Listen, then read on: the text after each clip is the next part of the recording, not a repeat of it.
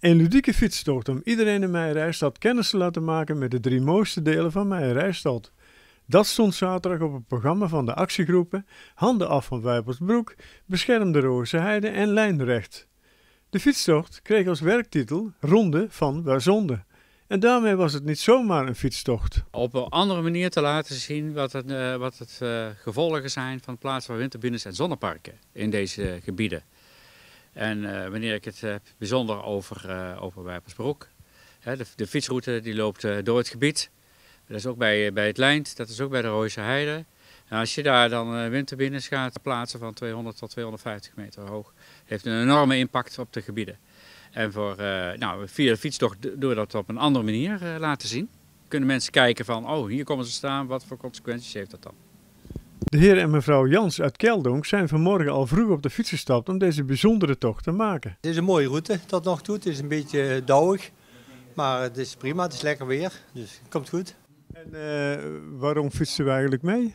Nou, eigenlijk wel twee redenen. We, fietsen graag en uh, ja, het is mooi weer dus. Maar ook vooral uh, omdat die, die zonnepanelen op verschillende plaatsen hier in de buurt allemaal komen. En bij ons, ik kom dan uit Keldonk, bij ons in het lijn komen ze ook. En dat is binnendoor van mij af ongeveer 500, 600 meter.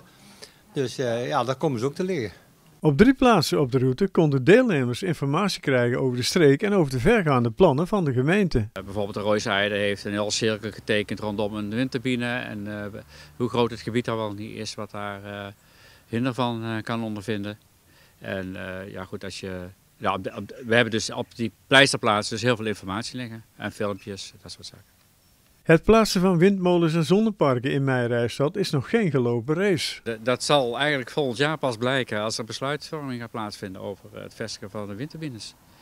er zijn zoekgebieden aangewezen en die zoekgebieden die, die zijn dus in onderzoek. En er liggen allemaal, ondertussen heeft de politiek, het bestuur heeft al wel besloten het naar volgend jaar over te tillen. Maar op dit moment zijn er wel allemaal notities in de maak. Zoals notitie rijkwijde op detailniveau wind. En daar kunnen mensen dan zienswijze op, in, uh, op indienen. En dat hebben wij dus als Handen af van Wijbersbroek bijvoorbeeld ook gedaan.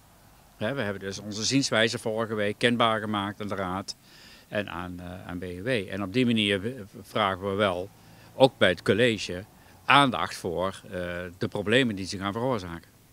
Als het nou overal vijf kilometer vanaf ligt, dan is het iets anders. Maar ja, het komt toch wel erg kort bij het dorp en dat vind ik wel jammer. En waar gaat de fietstocht nu naartoe? We gaan dadelijk naar, uh, richting Schijndel en dan, uh, en dan zo uh, weer naar Keldonk via het Lijnd en dan weer op huis. Dus ik denk dat we nu of vier uur thuis zijn.